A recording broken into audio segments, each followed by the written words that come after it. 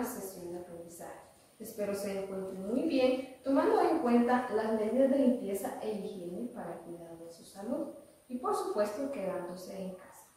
Les saluda la profesora Delmi Fabiola Navarrete Monge, docente de la Escuela José Santos Anare de la comunidad Tuyo Colorado, en el municipio de San Pedro, del departamento de Cuba. Espero estén muy bien y con toda la disposición por aprender. El día de hoy les voy a hablar de un tema muy importante, cómo ser las principales actividades económicas en Honduras. Vamos a iniciar con un viaje. ¿Les gusta viajar? Muy bien, a mí me encanta hacerlo. ¿Alguno de ustedes quiere acompañarme a un interesante viaje por nuestro bello país Honduras? Excelente. A ver, empaquen sus maletas y suban a bordo, porque ahora mismo nos vamos. Cierren sus ojos y dejen volar su imaginación junto a mí. Allá por la zona sur de Honduras, en los departamentos de Valle y Choluteca, en un pueblito chiquito, vive don Jacinto. Él cultiva sandías y melones. Luego las exporta para El Salvador. Allí será nuestra primera parada en el amplio campo cultivado con dulces y jugosas sandías. ¿Las ven? ¿Les gustan las sandías? Mmm, están deliciosas. Tomen una y llevémosla para el resto del viaje. Ahora vamos a un lugar donde se respira paz y tranquilidad. ¿Pueden escuchar las olas?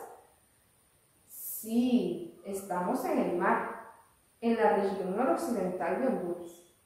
Vamos a comer pescado, camarones, sopa de jaibas o prefieren las frutas.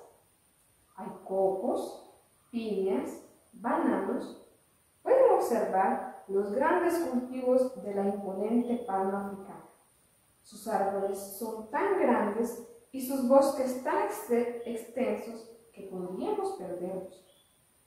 Eso y más se puede encontrar en Atlántida, Islas de la Bahía, Colón y gracias a Dios.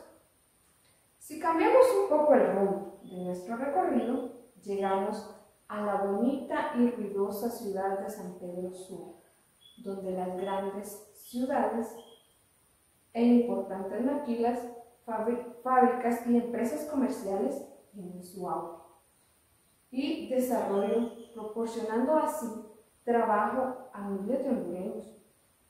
Esta ciudad forma parte de esa región oriental, acompañada de departamentos como El Paraíso y El Rancho.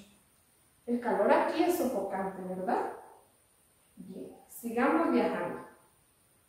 Se me antoja un licuado de fresa. ¿Y a ustedes? Es hora de ir a la región centro-occidental. Visitemos Intibucá, Coma y Agua y La Paz. Comeremos mangos, duraznos y llevaremos papas, muchas papas. Esas maletas ya pesan.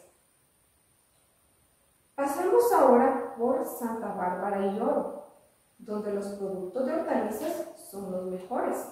Hay tomates, cebollas, zanahorias, chiles y las naranjas más ricas del mundo. De regreso a mi casa, mi región favorita, occidental, comprende Ocotepeque, Lempira y mi bello, mi favor, fantástico Copán. Con su exquisito aroma a café, ¿pueden sentirlo? La brisa fresca de sus pinares y ese olor a pasto, alimento del ganado. Copán me inspira. Sus frijolares, sus milpas, los tamaritos de lote que se prepara. ¡Mmm! ¡Cuánta riqueza!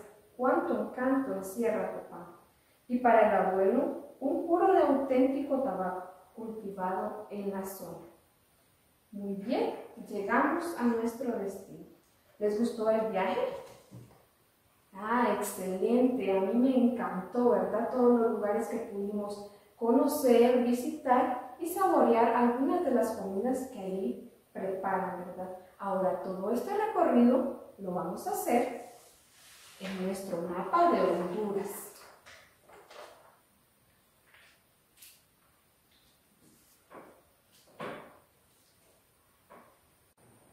Bueno, vamos a observar las regiones en las que está dividido nuestro país. Vamos a ver cuántas regiones observan. Muy bien, son seis regiones. Tenemos la región occidental, la región noroccidental, la región nororiental, la región central, la región centro-oriental y la región sur. Todas estas regiones están divididas porque tienen algunas características en común. Vamos a ver, en la región occidental, sus habitantes se, dedican a la agricultura, especialmente al cultivo de maíz, al cultivo de café,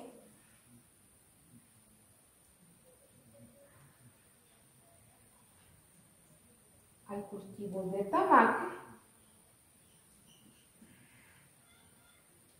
y también se dedican a la ganadería. Son los departamentos comprendidos por la región occidental, Copán, Ocotepeque y Lempira. Ahora nos trasladaremos a la región noroccidental, que comprende los departamentos de Cortés, Santa Bárbara y York. En estos departamentos se cultivan las naranjas,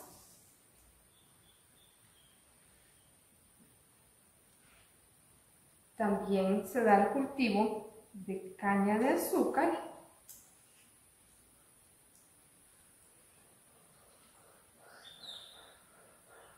dos bananos,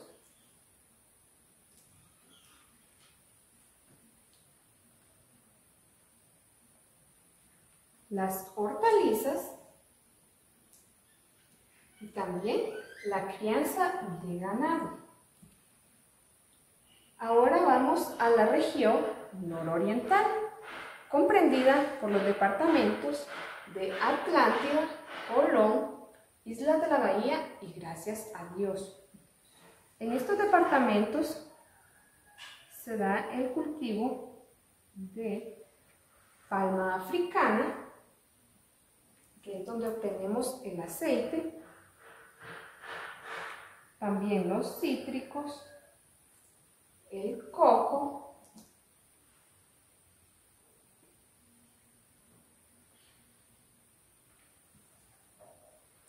los bananos,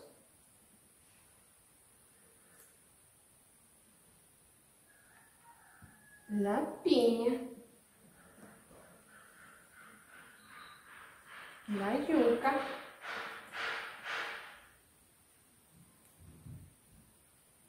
también se da lo que es la ganadería,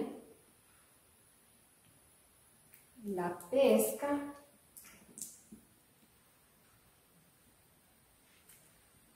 explotación de madera y el turismo, ¿verdad? Sabemos que una de las regiones más visitadas de nuestro país es Islas de la Bahía vienen turistas nacionales y extranjeros. Continuamos con la región centro-occidental en los departamentos de Intibucá, Comayagua y La Paz. Ahí se dan los productos agrícolas como la papa,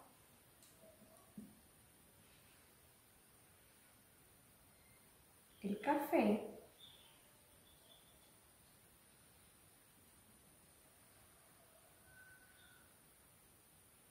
las fresas,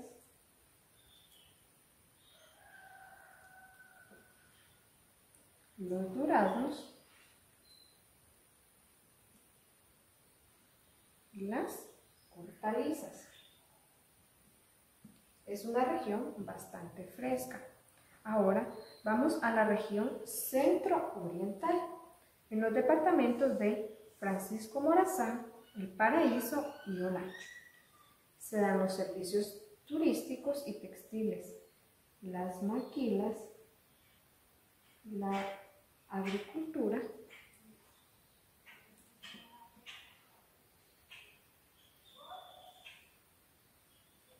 también se da el maíz, el frijol, las hortalizas. Y la explotación de madera. Por último tenemos la región sur, comprendida por los departamentos de Choluteca y Valle. Ahí se da la agroindustria, el cultivo y el procesamiento del camarón, que es una zona cercana al mar, ¿verdad? También el procesamiento del algodón, la caña de azúcar y la ganadería. Muy bien, aquí tenemos todas las actividades o los productos que se cultivan en cada una de estas regiones. Bueno, todas estas actividades las podemos dividir en sectores. Tenemos el sector primario,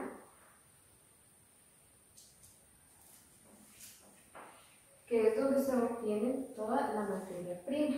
Por ejemplo, está la ganadería, la agricultura, la pesca, la minería y la explotación forestal. Tenemos el sector secundario,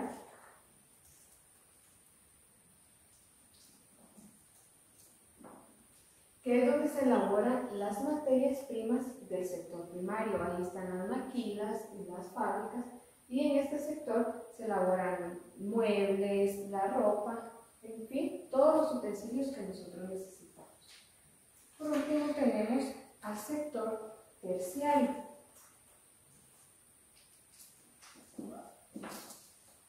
que lo constituyen las actividades que satisfacen las necesidades del ser humano.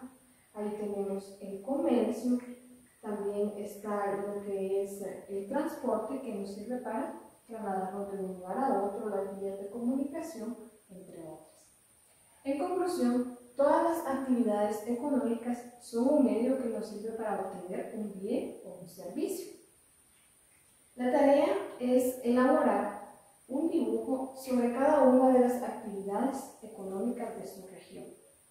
Recuerden siempre que salgan utilizar mascarilla, utilizar gel de manos y sobre todo te queremos estudiando en casa. Hasta la próxima.